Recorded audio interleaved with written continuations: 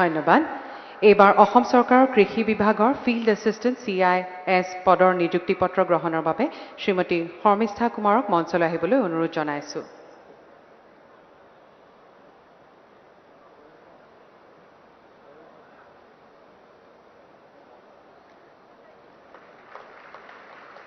ধন্যবাদ।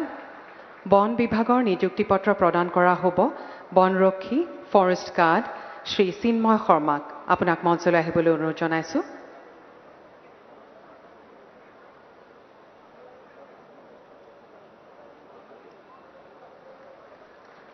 ধন্যবাদ আমি আহিছোঁ শ্ৰমিক কল্যাণ বিভাগলৈ মই ডক্টৰ সুকন্যা ভট্টাচাৰ্যক মঞ্চলৈ আহিবলৈ অনুৰোধ জনাইছোঁ তেখেতক বীমা চিকিৎসা বিষয়া পদৰ নিযুক্তি পত্ৰ প্ৰদান কৰা হ'ব।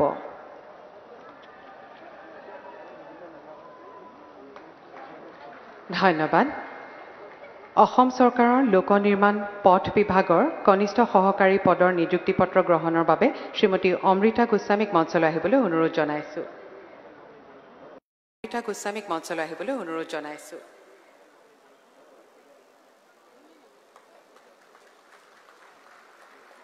ধন্যবাদ। আজি নিযুক্তি পত্ৰ প্ৰদান কৰিবলগীয়া অন্তিমটো বিভাগ হৈছে খনি আৰু খনিজ পদাৰ্থ বিভাগ। এই বিভাগৰ মই কনিষ্ঠ সহকাৰী পদৰ নিযুক্তি পত্ৰ গ্ৰহণৰ বাবে শ্ৰীমতী অলকা বৈশ্যক মঞ্চলৈ আহিবলৈ অনুৰোধ জনাইছোঁ।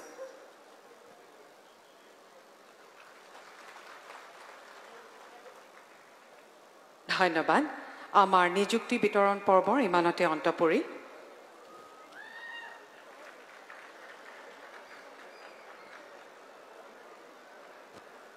এতিয়া মই অসমৰ মাননীয় মুখ্যমন্ত্ৰী ডক্টৰ হিমন্ত বিশ্ব শৰ্মাদেৱক তেখেতৰ বহুমূলীয়া ভাষণ প্ৰদান কৰিবলৈ বিনম্ৰ অনুৰোধ জনাইছোঁ।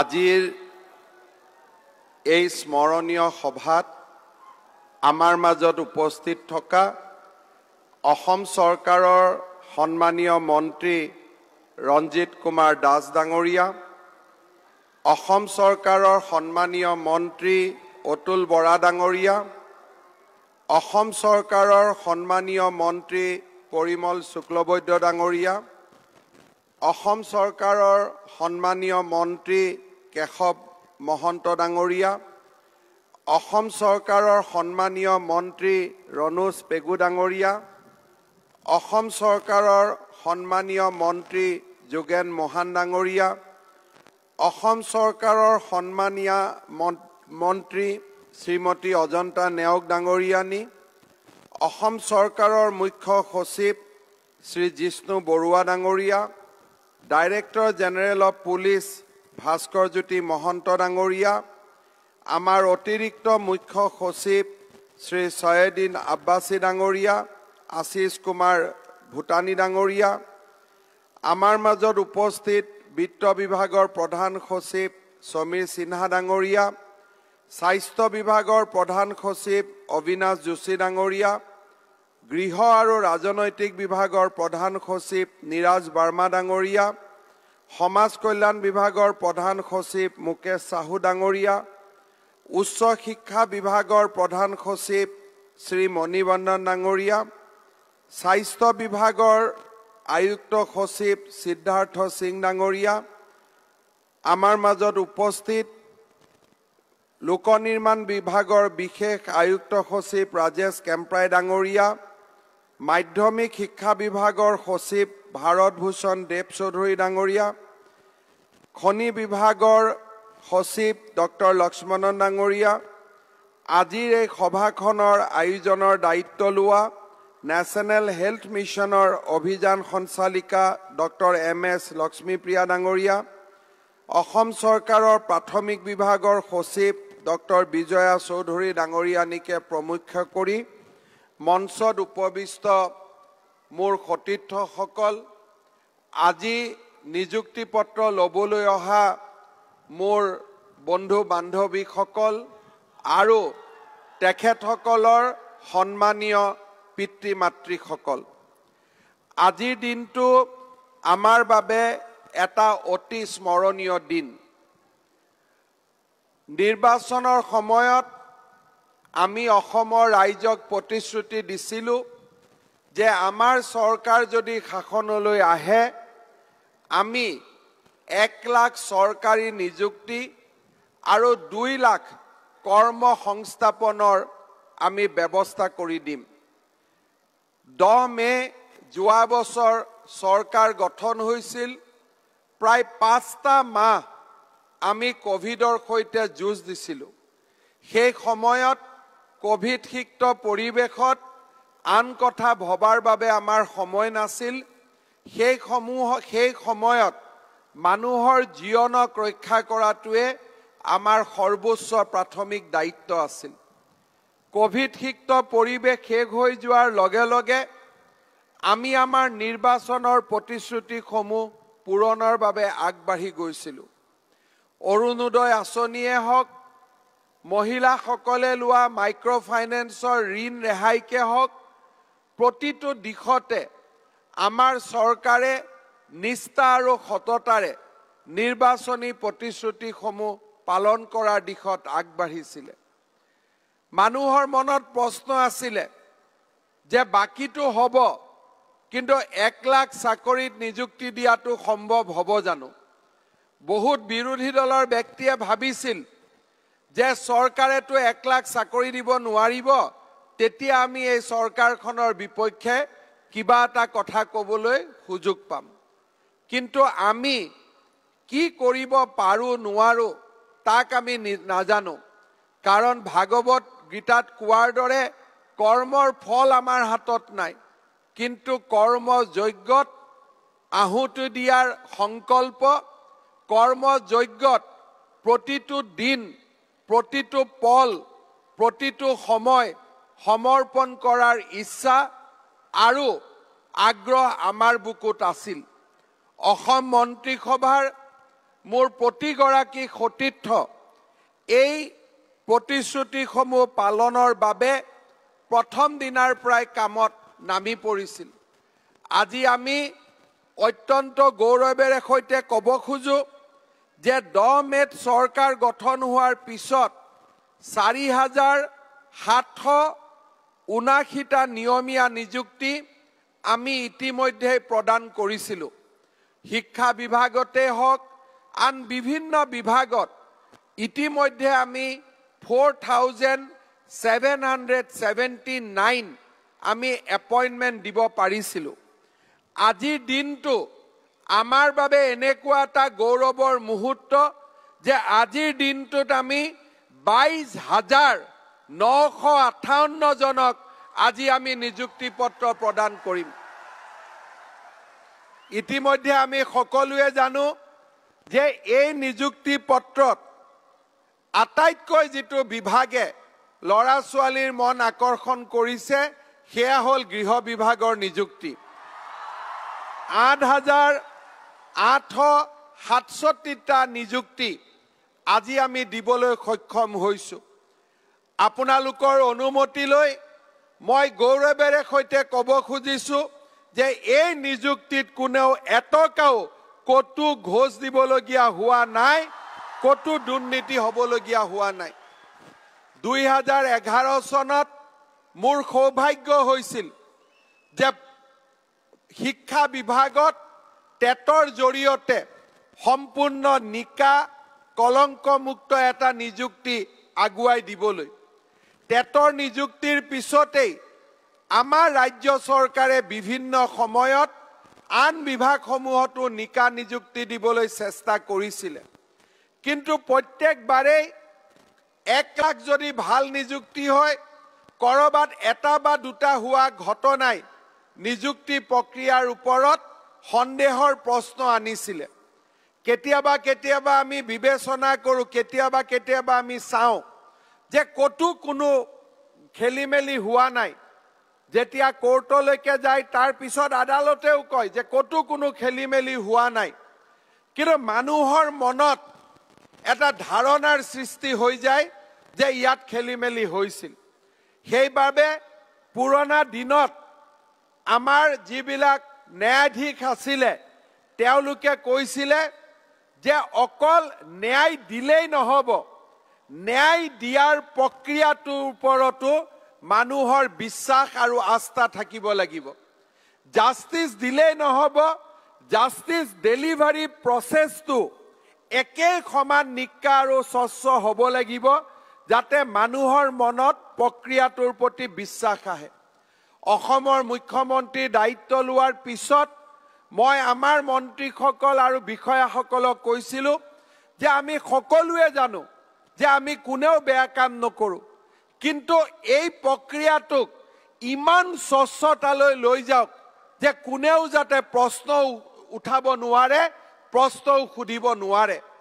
আজি শিক্ষা বিভাগত প্ৰায় এঘাৰ হাজাৰ তেইছষ্ঠিটা নিযুক্তি হৈছে।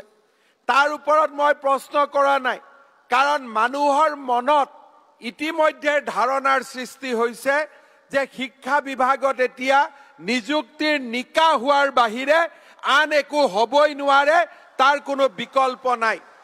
আমি শিক্ষা বিভাগৰ নিযুক্তি যে স্বচ্ছ হ'ব শিক্ষা বিভাগৰ নিযুক্তিত যে কোনো দুৰ্নীতি আহিব নোৱাৰে বাৰে বাৰে কম্পিউটাৰত মানুহক কমপ্লেইন কৰিব অভিযোগ থাকিব আৰু প্ৰতিটো প্ৰক্ৰিয়া কম্পিউটাৰৰ জৰিয়তে ইমানেই স্বচ্ছ কৰি দিয়া হয় যে প্ৰথম দিনাখন যদি কাৰোবাৰ মনত সন্দেহ থাকেও শেষৰ দিনাখন তেওঁলোকে বুজি পায় যে এই প্ৰক্ৰিয়াটোত স্বচ্ছতা সম্পূৰ্ণ আছে। অৱশ্যে কেতিয়াবা কেতিয়াবা এজনে আন মই নাপাম বুলি আনজনৰ লগৰ বিৰুদ্ধে গোচৰ আদি দিয়াৰ এটা প্ৰক্ৰিয়া আমাৰ মাজত এতিয়াও আছে। লাহে লাহে তাৰ পৰাও আমি আঁতৰিব লাগিব। সকলোৱে বুজি পাব লাগিব যে প্ৰত্যেকজন ব্যক্তিৰে পিতৃ মাতৃ আছে। মই যদি কোৰ্টত গৈ কেছ কৰি মই নিজৰটো ভাবিব আৰম্ভ কৰোঁ আনজনে দুখ পাব। আজি আমাৰ শিক্ষা বিভাগত গ্ৰেছ পোৱা নোপোৱা কেছ কৰি পেলাই গ্ৰেছ পোৱাসকলে বাহিৰত দুখত বহি আছে নোপোৱাসকলে নিযুক্তি ল'ব আহিছে। কিন্তু আমাৰ ওচৰত যদি এৰি দিলেহেঁতেন আমি পোৱা আৰু নোপোৱা দুইটাকে নিযুক্তি দিয়াৰ ব্যৱস্থা কৰিলোহেঁতেন। কিন্তু আদালতত যোৱাৰ পিছত আমাৰ হাতত ব্যৱস্থা নাথাকে আদালতে লৈ যায়। সেইবাবে মই শিক্ষা বিভাগতো ভৱিষ্যতৰ দিনত মই অনুৰোধ কৰিম যে আমাক সুযোগ দিব আমি যাতে সকলোকে সন্তুষ্ট কৰিব পাৰোঁ। আদালতৰ দৰ্জাত যোৱাৰ পিছত সমস্যা কেতিয়া সমাধান হয় কেনেকৈ সমাধান হয় চৰকাৰৰ হাতত নাথাকে ন্যায়মূৰ্তিসকলৰ হাতত থাকে। এই দিশটোৰ ওপৰতো ভৱিষ্যতে নিশ্চয় আমি চকু দিম।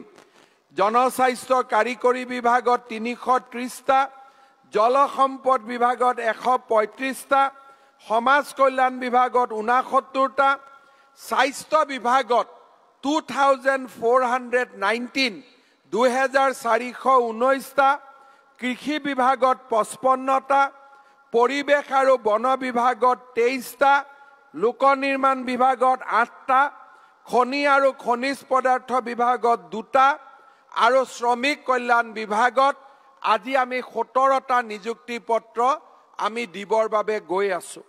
আৰু এই গোটেইখিনি মিলালে আগৰ চাৰি হাজাৰ সাতশ ঊনাশীৰ লগত দহ মে'ৰ পিছত নিযুক্তি পোৱা লোকৰ সংখ্যা প্ৰায় বাইছ হাজাৰ নশ আঠাৱন্নলৈ বৃদ্ধি পালে।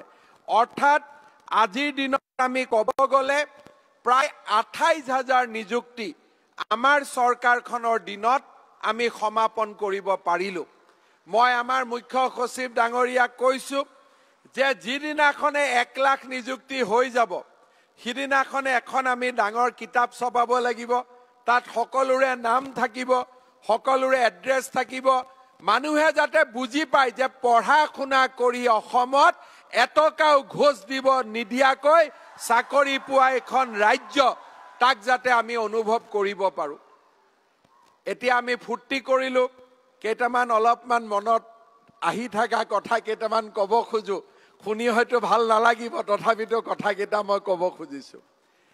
আজি আমি যিসকলে পুলিচ কনিষ্টবলৰ চাকৰি পাইছোঁ ঠিক আছে যোৱা কেইদিনমানৰ পৰা মই টিভিত দেখিছোঁ যে কোনোবা চাহ দোকানত কাম কৰা কোনোবা দুখীয়া মাতৃৰ সন্তান কোনোবা ভিতৰুৱা গাঁৱৰ আটাইতকৈ দুখীয়া পৰিয়ালৰ ল'ৰাজনে চাকৰি পাইছে। আৰু মই নিজে দেখিছো যে যোৱা দুটা বছৰ কভিড আহক কভিড নাহক ল'ৰাবিলাকে ৰাতিপুৱাই শুই উঠি যিমান পাৰে সিমান কষ্ট কৰিছিলে যিমান পাৰে সিমান দৌৰিছিল।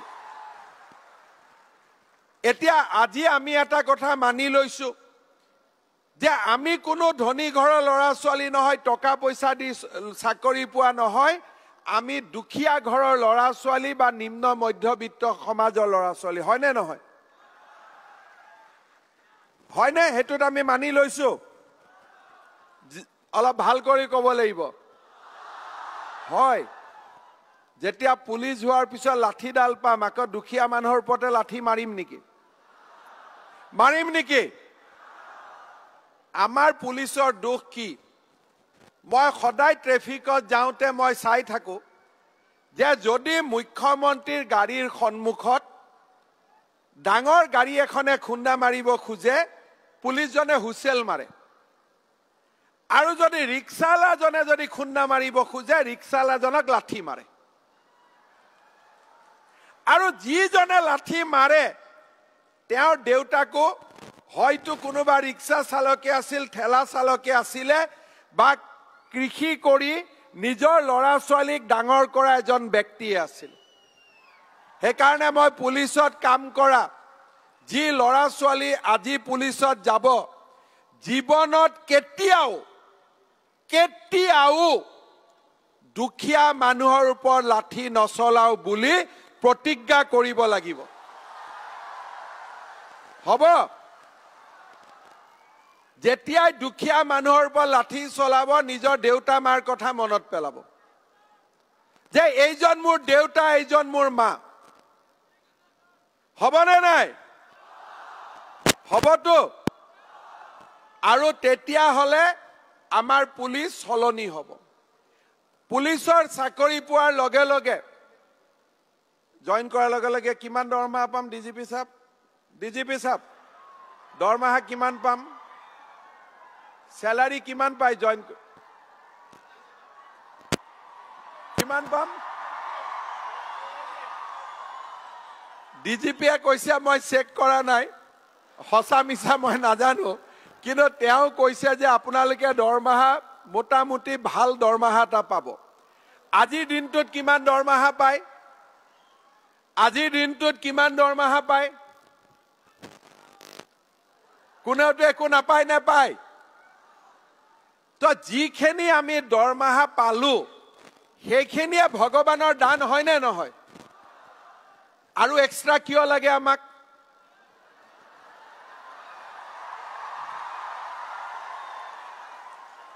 আজি আমাৰ আছে মাহত দৰমহা নাই। মায়ে আত্মসহায়ক গোট কৰি ক'ৰবাত পকৰি বেচি ক'ৰবাত ব্ৰইলাৰ চিকেন বিক্ৰী কৰি ক'ৰবাত কণী তুলি ঘৰত পইচা কেইটামান থওঁ। চাকৰিত ইণ্টাৰভিউ যাবৰ কাৰণে মায়ে সাঁচতীয়া পইচাৰ পৰা পঞ্চাছ টকা আমাক উলিয়াই দিয়ে। আমি ইণ্টাৰভিউ মাৰিব আহোঁ। আজি পঞ্চাছ টকাৰ পৰা আমাৰ দৰমহা গৈ পোন্ধৰ হাজাৰ বিছ হাজাৰ কিবা এটা হ'বগৈ। তাৰমানে আমি পঞ্চাছ টকাৰ পৰা প্ৰমোচন পালো পোন্ধৰ হাজাৰ। আৰু প্ৰমোচন আমাক কিয় লাগে? লাগে নেকি? আমাৰ এতিয়া অলপ কমিছে। আগত আধা পুলিচে প্ৰমোচনটোৰ কাৰণে দিনে ৰাতিয়ে কষ্ট কৰি আছিল। কাৰ পৰা ক'ত কেনেকে জেপ কাটিব পাৰো? তো জেপ কাটা মানুহকতো পুলিচ বুলি নকয় পুলিচৰ ড্ৰেছত জেপ কাটোতা বুলিহে কয়। হয়নে নহয়? সেইকাৰণে মোৰ আপোনালোকক অনুৰোধ এতিয়া যেনেকে আমি অসম পুলিচক লাহে লাহে আমি দুৰ্নীতিৰ পৰা দূৰত গৈ এটা ভাল আৰক্ষী বললৈ লৈ গৈ আছো। অসম আৰক্ষীক যোৱা কেইদিনমান আগতে ভাৰতৰ ৰাষ্ট্ৰপতিয়ে পুলিচৰ নিচান পৰ্যন্ত দিলে। আপোনালোকক মই অনুৰোধ কৰিম যে আঠ হাজাৰ ল'ৰা ছোৱালীয়ে গৈ আৰক্ষীত এটা নতুন আদৰ্শ স্থাপন কৰক যে আমি দুখীয়া মানুহৰ টকা পইচা নাখাওঁ কোনোবা অফিচাৰে ক'লেও আমি কালেকশ্যন কৰি দিব নোৱাৰোঁ। আমি কাৰো পৰা পইচা নুতোলো খালি আমাৰ কাম হ'ব অপৰাধ আৰু অপৰাধীক দেখিলে একদম দানৱৰ দৰে গাত জঁপিয়াই পৰা। অপৰাধ আৰু অপৰাধীৰ বিপক্ষে আমাৰ কোনো দয়া মায়া ক্ষমা নাই। আৰু দৰিদ্ৰ লোকক দেখিলে আমাৰ হৃদয়খন আটাইতকৈ কোমল আৰু অপৰাধ আৰু অপৰাধীক দেখিলে আটাইতকৈ কঠোৰ। এই বজ্ৰ কঠোৰ সংকল্পেৰে আমি আগুৱাই যাব লাগিব। শিক্ষা বিভাগত ৰাজহুৱা শিক্ষা ব্যৱস্থা যোৱা কভিডৰ দুটা বছৰত এক প্ৰকাৰ ধ্বংসৰ ধ্বংসপ্ৰাপ্ত হৈ গৈছিলে। অনলাইন এডুকেশ্যন আমাৰ আধ্যমবন্ত সমাজৰ বাবে মুকলি আছিলে। দৰিদ্ৰজনে অনলাইন এডুকেশ্যন লাভ কৰিব পৰা নাছিল। কাগজে কলমে আমি যেনেকেই নকওঁ কিয় আমি সকলোৱে জানো যে আমাৰ ঘৰত এটা মোবাইল থাকে। দেউতাৰ তিনিটা ল'ৰা ছোৱালী। তিনিজন ল'ৰা ছোৱালীয়ে তিনিটা একেলগে ক্লাছ কৰিব নোৱাৰে। দেউতাৰ লগত মোবাইলত নিজৰ কামৰ কাৰণে দেউতাৰ মোবাইলটো লাগেই। যোৱা দুটা বছৰে দৰিদ্ৰ ল'ৰা ছোৱালীয়ে অত্যন্ত অন্ধকাৰৰ ভৱিষ্যতৰ লগত দিন কটালে। আমি আকৌ এবাৰ শিক্ষা ব্যৱস্থালৈকে আলোক উভতাই আনিবলৈ চেষ্টা কৰিছোঁ। আমাৰ মাজত এচাম শিক্ষক আছে যোনে গোটেই দিনটো ফেচবুকত থাকি দিয়ে কিমান হ'ব টিয়ে কিমান হ'ব এইটোকে যোগ বিয়োগ কৰি থাকে। কিন্তু আমাক এনেকুৱা শিক্ষক লাগে যি শিক্ষকে দিনটোত হিচাপ নিকাচ কৰে যে অংক কিমানটা কোৰ্চ বাকী ৰাখি গ'ল বিজ্ঞানত কিমানটা কোৰ্চ বাকী থাকি গ'ল ইংৰাজীত কিমানটা কোৰ্চ বাকী ৰাখি গ'ল। আমি অসমক সজাই পৰাই তুলিব লাগিব দৰিদ্ৰজনৰ লগত থিয় হ'ব লাগিব। আমাৰ জীৱনত আমি জন্ম হোৱাৰ সময়ত আমি বৈষম্যৰ চিকাৰ কোনোবা হিমন্ত বিশ্ব শৰ্মাৰ সন্তান হৈ জন্মিছে কোনোবা ৰঞ্জিত দাসৰ সন্মান হৈ সন্তান হৈ জন্মিছে কোনোবা আম্বানী পৰিয়ালত জন্মিছে কোনোবা টাটা পৰিয়ালত জন্মিছে আৰু কোনোবা দিনটোত দুবেলা খাদ্য যোগাৰ কৰিব নোৱাৰা কোনোবা বৰা কলিতাৰ ঘৰত জন্মিছে। এই মানুহবিলাকক দৰিদ্ৰজনক সমতা কোনে দেখুৱাব? মহাত্মা গান্ধীয়ে কৈছিলে যে কোনোবাই যদি মানুহক ইকুৱেলাইজ কৰিব পাৰে জন্মৰ সময়ত থকা বৈষম্য যদি দূৰ কৰিব পাৰে সেয়া শিক্ষা ব্যৱস্থাই কৰিব পাৰে। ভগৱানে যি কাম কৰিব নোৱাৰে ভগৱানে কাকো একেলগে আম্বানীৰ ঘৰত জন্ম দিব নোৱাৰে ভগৱানে কাকো একেলগে টাটাৰ ঘৰত জন্ম দিব নোৱাৰে আৰু ভগৱানে যিটো কাম কৰিব নোৱাৰে শিক্ষা আৰু শিক্ষকে সেই কাম কৰিব পাৰে আৰু সেইকাৰণে আমাৰ সনাতন হিন্দু ধৰ্মই ভগৱানৰ ওপৰতো গুৰুৰ স্থান ৰাখিছিল। কবিৰে কবিৰক কোনোবাই সুধিছিলে যে আপুনি যদি ভগৱানক সন্মুখত দেখা পায় আৰু আপোনাৰ গুৰুক যদি সন্মুখত দেখা পায় আপুনি কাৰ চৰণ স্পৰ্শ কৰিব? কবিৰে কৈছিলে মই মোৰ গুৰুৰ গুৰুৰ চৰণ স্পৰ্শ কৰিম। মই দ্বিতীয়তে ভগৱানৰ চৰণ স্পৰ্শ কৰিম। প্ৰথমতে নৈ- মই নকৰোঁ। কাৰণ ভগৱানৰ পৃথিৱীত আমি বৈষম্যৰ চিকাৰ। কোনোবা ধুনীয়া পাহুৱাল ডেকা ল'ৰা হৈ জন্মিছে। কোনোবা দিব্যাংগ হৈ জন্মিছে। কোনোবাই দুখীয়াৰ ঘৰত জন্মিছে। কোনোবাই এনেকুৱা ধনীৰ ঘৰত জন্মিছে যে যাৰ কাৰণে দুশ কোটি টকাও টকাই নহয়। এই বৈষম্য কোনে আঁতৰাই? ইন ওৱান লাইফ গান্ধীজীয়ে কৈছিলে যে education can be the equaliser আজি আমাৰ ইয়াত যিবিলাক অফিচাৰ বহি আছে যিবিলাক আপোনালোকে ভাল অফিচাৰৰ নাম দেখিছে এই গোটেই অফিচাৰবিলাক এসময়ত মধ্যবিত্ত বা দৰিদ্ৰ পৰিয়ালৰ আছিল। কিন্তু আজিকালি কোচিং ক্লাছ টিউটৰিয়েলছ এইবিলাকৰ জৰিয়তে শিক্ষা ব্যৱস্থাই যি সমতাৰ তৈয়াৰ কৰিব পাৰিছিল তাতো আজি প্ৰশ্নবোধক চিন অনা হৈছে। আমাৰ শিক্ষাগুৰুসকলে যদি নিষ্ঠাৰে সৈতে কাম কৰে সততাৰে সৈতে কাম কৰে অসমৰ পৰিৱেশ সলনি হ'ব পাৰে। মোৰ বাবে একো টান কাম নাছিলে।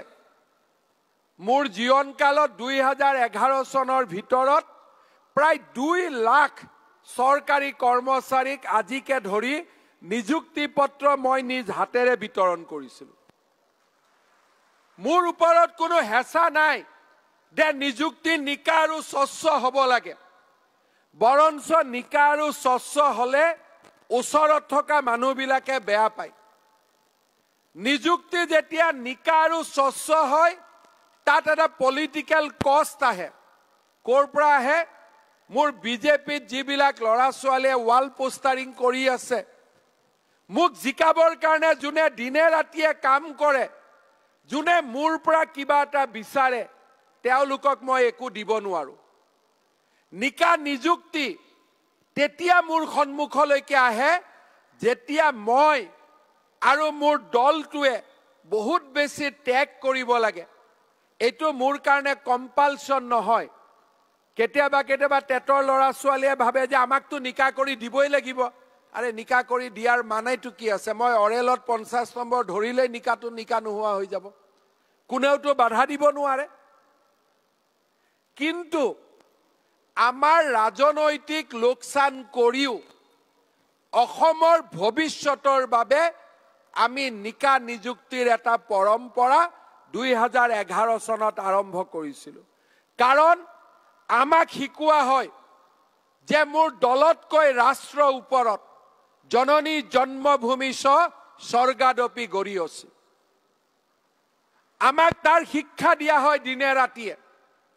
আৰু যেতিয়া আমি অসমৰ শিক্ষা ব্যৱস্থাত এটকাও দুৰ্নীতি নকৰাকৈ হাজাৰ হাজাৰ শিক্ষক নিযুক্তি দিওঁ আমাৰ চকুত স্বপ্ন থাকে যে এই শিক্ষকসকলে গৈ অসমৰ দৰিদ্ৰতম জনৰ লোকৰ পৰিয়াললৈ পৰিৱৰ্তন আনিব। দৰিদ্ৰজনক সমাজৰ উচ্চ স্থানলৈ লৈ যোৱাৰ বাবে প্ৰেৰণা যোগাব। যেতিয়া আকৌ সেই শিক্ষকসকলে T A D A transfer এই কথালৈ যেতিয়া আমনি আৰম্ভ কৰে তেতিয়া সেই দৰিদ্ৰজনৰ সপোন চুৰমাৰ হোৱা নিজৰ চকুৰ আগত আমি দেখা পাওঁ। মোৰ সপোন চুৰমাৰ হওক মোৰ সপোন ধ্বংস হৈ যাওক কিন্তু অসমৰ দৰিদ্ৰজনৰ সপোন চুৰমাৰ হ'ব নালাগে অসমৰ দুখীয়া মানুহৰ জীৱন ধ্বংস হ'ব নালাগে। এয়া আমাৰ জীৱনৰ পণ হোৱা উচিত। এয়া আমাৰ জীৱনৰ সংকল্প হোৱা উচিত। আৰু সেই পণ আৰু সংকল্পই আমাক মহিয়ান কৰিব। আমাৰ জীৱনটো সুন্দৰ কৰিব। ভৱিষ্যতলৈ আমি মানৱ সম্পদ সৃষ্টিৰ সেই মহান গৌৰৱৰ অধিকাৰী হ'ম যি গৌৰৱ অকল মাত্ৰ নিৰ্বাচিত ব্যক্তিৰ জীৱনলৈহে আহিব পাৰে। মই আজি নিযুক্তি পোৱা এঘাৰ হাজাৰ তেষষ্ঠিজন শিক্ষকক তেষষ্ঠিগৰাকী শিক্ষকক সোঁতৰ বিপৰীতে গৈ অসমৰ দৰিদ্ৰ ল'ৰা ছোৱালীৰ সেৱাত থিয় হ'বলৈ আহ্বান জনাম। আমাৰ আনকেইটা বিভাগত যিসকলে নিযুক্তি পাইছে আগত ধাৰণা আছিল যে নিযুক্তিয়ে দৰমহাটো দিবই দৰমহাৰ ওপৰতো আৰু কিবা কিবি দিব। সেই পৰম্পৰা আমি অসমত শেষ কৰিব লাগিব। অসমখন কিমান দিন গুজৰাটতকৈ পিছুৱাই থাকিব? অসমখন কিমান দিন কৰ্ণাটকতকৈ পিছুৱাই থাকিব? মুখ্যমন্ত্ৰীয়ে অসমৰ ভাগ্যৰ পৰিৱৰ্তন কৰিব নোৱাৰে। অসমৰ চৰকাৰী চাকৰিয়ালসকলে অসমৰ ভাগ্যৰ পৰিৱৰ্তন কৰিব পাৰে। যোৱা কেইটামান দিনত মিছন বসুন্ধৰাই হওক আমাৰ পৰিবহণ পৰিবহণ বিভাগলৈ অহা পৰিৱৰ্তনসমূহেই হওক বা আমাৰ সচিবালয়ত স্থাপন হোৱা সুন্দৰ পৰিকল্পনাসমূহেই হওক বা আজিৰ এই স্বচ্ছ নিযুক্তিয়ে হওক আমাৰ মনত আশাৰ সপোন দেখি আশাৰ সপোন সৃষ্টি কৰি কৰিছে। যে এখন নতুন অসমৰ নিৰ্মাণৰ পথত আজি আমি ধাৱমান হৈছো। আৰু সকলোৱে তাত সহযোগিতা কৰিছে। অসমৰ জনতাই হিয়া উজাৰি আশীৰ্বাদ দিছে। যে অসমৰ জীৱনলৈ পৰিৱৰ্তন আহিব লাগে। অসমখনে বিকাশৰ পথলৈ আগবাঢ়িব লাগে। অসম ভাৰতৰ ভিতৰতে এখন সৰ্বশ্ৰেষ্ঠ ৰাজ্য হ'ব লাগে। প্ৰধানমন্ত্ৰী নৰেন্দ্ৰ মোদী ডাঙৰীয়াই অজস্ৰ পৰিকল্পনা আৰু সহযোগিতাৰে আমাক সেই পথত আগুৱাই যোৱাৰ বাবে প্ৰেৰণা দিছে। মই আন বিভাগসমূহত নিযুক্তি পোৱা সমূহ বিষয়া কৰ্মচাৰীক অনুৰোধ জনাম। আপোনালোকে যাতে নিজৰ কৰ্তব্য পথত নিষ্ঠা আৰু সততাৰে আগবাঢ়ি যাবলৈ সংকল্প গ্ৰহণ কৰে। শ্ৰদ্ধাৰ ৰাইজ আজি আমি অসমত আমাৰ প্ৰতিশ্ৰুতি অনুসৰি প্ৰায় আঠাইছ হাজাৰ নিযুক্তি সম্পূৰ্ণ কৰিলোঁ। সংবাদ মহলে যাতে কালিৰ পৰা নুসুধে এক লাখ নিযুক্তি কেতিয়া হ'ব? তেওঁলোকে সুধিব লাগিব বাকী আঠষষ্ঠি হাজাৰ নিযুক্তি কেতিয়া হ'ব? হয়নে? আমাকোতো মানুহ বুলি ধৰিব লাগিব। আজি নিযুক্তি পোৱা মানুহবিলাকক মানুহ বুলি ধৰিব লাগিবনে নাই? গতিকে এক লাখৰ পৰাতো যোগ বিয়োগ হ'ব। এতিয়া তাৰ উত্তৰত মই ক'ব খুজিছোঁ যে অহা মাহত আমি আৰু সাত আঠ হাজাৰ নিযুক্তি দিবলৈ চেষ্টা কৰিম। স্বাস্থ্য বিভাগ আৰু অসম আৰক্ষী মিলি অহা মাহতে হওক বা জুলাই মাহৰ পোন্ধৰ তাৰিখৰ আগতে হওক আমি আৰু সাত আঠ হাজাৰ নিযুক্তি নিয়মীয়া নিযুক্তি দিয়াৰ বাবে আমি সংকল্প হাতত লৈছোঁ। সমান্তৰালভাৱে জুলাই মাহৰ শেষৰ সপ্তাহত আৰু ছাব্বিছ হাজাৰ নিযুক্তিৰ বাবে আমি লিখিত পৰীক্ষাৰ কাম হাতত ল'ম। অৰ্থাৎ আমি আমাৰ নিৰ্দিষ্ট গতিত আমি ধাৱমান হৈছোঁ যে আমি এক লাখ নিযুক্তিৰ সংকল্প আমি সিদ্ধিলৈ ৰূপান্তৰ কৰিম। আমি যেতিয়াই সংকল্প লওঁ সংকল্পৰ পিছত আমি সিদ্ধিৰ বাবে প্ৰয়াস প্ৰচেষ্টা কৰিব লাগে আৰু ৰাজ্য চৰকাৰখনে আমাৰ প্ৰত্যেকটো সংকল্প সিদ্ধিৰ পথত লৈ যোৱাৰ বাবে নিৰবিচ্ছিন্নভাৱে কাম কৰি আছে আৰু নিৰবিচ্ছিন্নভাৱে কাম কৰি যাব। আজি এই নিযুক্তিৰ স্বচ্ছ আৰু নিজা নিকা নিযুক্তিৰ এই সুন্দৰ আৰু স্মৰণীয় মুহূৰ্তত মই মোৰ মন্ত্ৰীসভাৰ আটাইকেইজন সতীৰ্থক ধন্যবাদ আৰু কৃতজ্ঞতা দিছোঁ। নিযুক্তিত যদি ৰাজনৈতিক নেতাৰ সদিচ্ছা নাথাকে স্বচ্ছতাৰ বাদে বাবে তেতিয়াহ'লে তাত কেতিয়াও স্বচ্ছতা থাকিব নোৱাৰে। আটাইতকৈ স্বচ্ছতাৰ প্ৰয়োজন আমাৰ বিষয়া কৰ্মচাৰীসকলৰ পৰ্যায়ত। অলপ আগতে মই ৰাতিপুৱা ঘৰৰ পৰা আহোঁতে এটা সৰু কাহিনী শুনি আহিছিলোঁ। মোৰ ড্ৰাইভাৰজন অসম আৰক্ষীৰ এজন জোৱান। মই সুধিছিলোঁ তই চাকৰি কেনেকৈ পাইছিলি?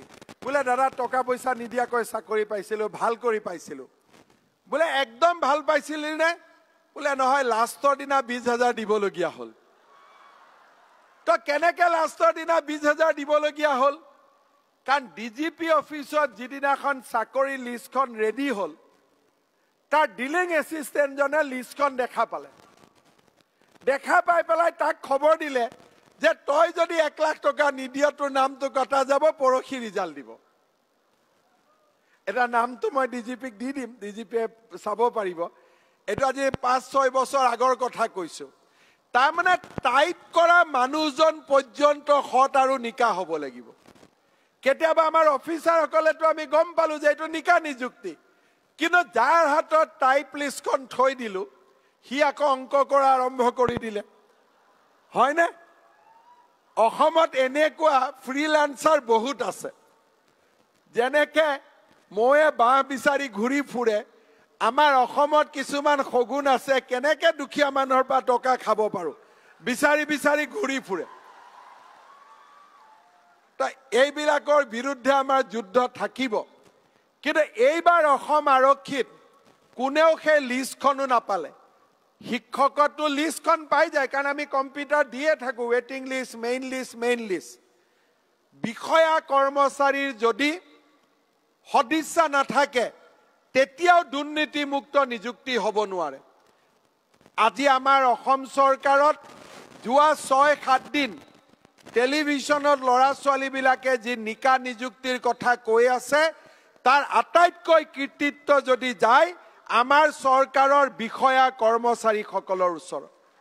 আৰু তেখেতসকলক আজি মই ধন্যবাদ জনাইছোঁ কৃতজ্ঞতা জনাইছোঁ আৰু নতুন অসমৰ নিৰ্মাণৰ কামত এনেকৈ অনাগত দিনবিলাকতো আগবাঢ়ি যাবলৈ মই আহ্বান জনাইছোঁ। পুনৰ এবাৰ আজিৰ এই অনুষ্ঠানৰ বক্তব্য মোৰ অসম্পূৰ্ণ হৈ যাব। যদি আপোনালোকৰ দেউতা মাক মই এবাৰ চৰণত সেৱা নকৰোঁ। আজি আপোনালোকে যে ইয়াত নিযুক্তি পাইছে কোনোবাই কোনোবাই কৈ আছে যে মুখ্যমন্ত্ৰী ভাল মুখ্যমন্ত্ৰীৰ কাৰণে পাইছোঁ। আমি একো নহয়। আজি যদি আপোনালোকে নিযুক্তি পাইছে আপোনালোকৰ দেউতা মাৰ শ্ৰম আৰু পৰিশ্ৰমৰ কাৰণে আজি আপোনালোকে এই স্থানত থিয় হৈছে। আপোনালোকক যদি আপোনালোকৰ দেউতা মাই সুসন্তান কৰি গঢ়ি নুতুলিলেহেঁতেন শিক্ষাৰ অলংকাৰেৰে যদি অলংকিত নকৰিলেহেঁতেন ৰাতিপুৱা ভাত বনাই মায়ে যদি নোখোৱাই পঠালেহেঁতেন দেউতাই যদি পৰিশ্ৰম নকৰিলেহেঁতেন এই আসনত আমি আহি উঠি পাব নোৱাৰোঁ। মোৰ আপোনালোকেলৈকে অনুৰোধ প্ৰত্যেকজন ল'ৰা ছোৱালীয়ে যোগদান কৰিবলৈ যোৱাৰ আগতে দেউতা মাৰ শ্ৰীচৰণত সেৱা কৰিব আৰু আৰু এটা কথা মই কৈ থৈ দিওঁ। ঘৰত যেতিয়া মোৰ নিজৰ সংসাৰ হ'ব বোৱাৰী আহিব ল'ৰা ছোৱালী হ'ব ল'ৰা ছোৱালীক টিউশ্যনৰ পইচা দিব লাগিব ঘৰ চলাব লাগিব কষ্ট হ'ব তেতিয়াও যাতে দেউতা মাক নাপাহৰোঁ। দেউতা মাক যাতে সদায় চোৱা চিতা কৰোঁ সেই সংকল্প মনত বান্ধি ল'ব। মই বহুত ল'ৰা ছোৱালীক পাইছোঁ। বহুত বুলি ক'লে একেবাৰে এক লাখ নহয় দহ বাৰজন ত্ৰিছজন ল'ৰা ছোৱালীক পাইছোঁ। পিছত মাক বাপেকে আহি মোক কয় যে বাবা ল'ৰাটোৱে মোক নোচোৱা হ'ল। সেই কথাটো যাতে আপোনালোকৰ পৰা কাৰোৰ পৰা আমি নুশুনো। চৰকাৰে আইন বনাই থৈছে যে ল'ৰা ছোৱালীয়ে দেউতাক মাকক চাবই লাগিব। প্ৰণাম আয়োগ তাৰ বাবে গঠন হৈছে। কিন্তু আমি আয়োগলৈ যাব নালাগে। প্ৰত্যেকজন ল'ৰা ছোৱালীয়ে নিজৰ পিতৃ মাতৃৰ সদায় চাব সদায় তেওঁলোকক ভক্তি কৰিব শ্ৰদ্ধা কৰিব। এই আশা মই আপোনালোকৰ পৰা ৰাখিছোঁ আৰু আপোনালোকৰ গৌৰৱী পিতৃ মাতৃক মই আজি এই মঞ্চৰ পৰাই সেৱা আগবঢ়াইছোঁ। বন্ধু বান্ধৱীসকল ইমান মানুহক আমি এপইণ্টমেণ্ট কেনেকৈ দিম? কেনেকৈ এপইণ্টমেণ্ট লেটাৰ বিলাম নাম মাতিলেতো গণ্ডগোল হৈ যাব। হয়নে? আপোনালোকেও চিন্তা কৰি আছে যে ক'ত পাম এপইণ্টমেণ্ট লেটাৰখন হয়নে? অলপ হৈ আছেনে নাই চিন্তা? এতিয়া আমাৰ শিক্ষামন্ত্ৰী ৰণোজ পেগু ডাঙৰীয়াই শলাগৰ শৰাই দিব। তাৰ পিছত মই দুই মিনিট সময় আপোনালোকৰ এপইণ্টমেণ্ট লেটাৰ পাব মই বুজাই দিম সাধাৰণতে শলাগৰ শৰাই হ'লে গুচি যাওঁ নে নাযাওঁ? আজি নাযাব গ'লে লষ্ট আছে। ঠিক আছে শলাগৰ শৰাই হোৱাৰ পিছত আপোনালোকে বহি থাকিব। মই আৰু দুই মিনিটত খুব সুন্দৰ কৰি আপোনালোকক বুজাই দিম। আৰু ক'ৰ পৰা কেনেকৈ এপইণ্টমেণ্ট লেটাৰ পাব আপোনালোকে সুন্দৰ কৰি অপেক্ষা কৰিব। মোৰ লগত একেলগে কওক। ভাৰত মাতা কে ভাৰত মাতা কে বন্দে বন্দে বহুত বহুত ধন্যবাদ পুনৰবাৰ আপোনালোকৰ জীৱন উজ্জ্বল হওক মংগলময় হওক তাকে কামনা কৰি মই মোৰ বক্তব্যৰ